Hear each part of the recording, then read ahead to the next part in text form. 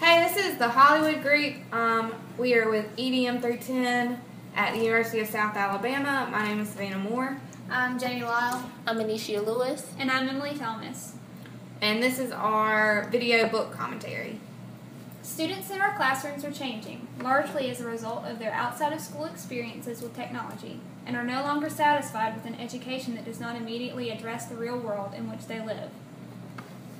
In our textbook, um, Teaching Digital Natives by Marc Prensky, he gives several reasons of what students want, what they want to accomplish when they're in school, and why they are no longer satisfied with education because they're not um, being given real world experiences while they're in school. Um, most students don't want to be lectured to. That's one thing that he says in the book.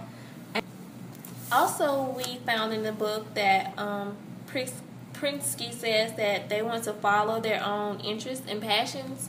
Students, I believe that students, you know, if they find something outside of school that they're really interested in, they're going to use the technology to research and find more about it and get involved.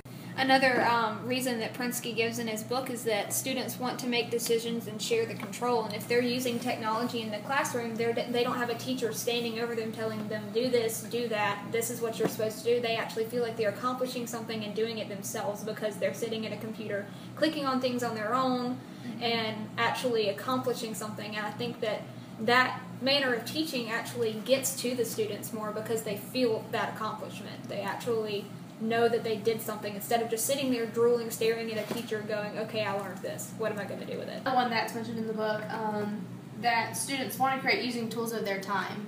You're, I mean, classes now they're using the iPads in it, and I mean they're already using it outside of the classroom at home. They're playing games. Blending school with home is making things ten times easier for teachers and actually accomplishing things in school that weren't happening before because there's a lot of things that like just sitting with a pencil and paper you don't realize that you're actually going to use that but when you're sitting with technology that you use at home too you're actually blending the two together and accomplishing something Um, and well, I hope you have enjoyed our this is our book video Commentary. book commentary.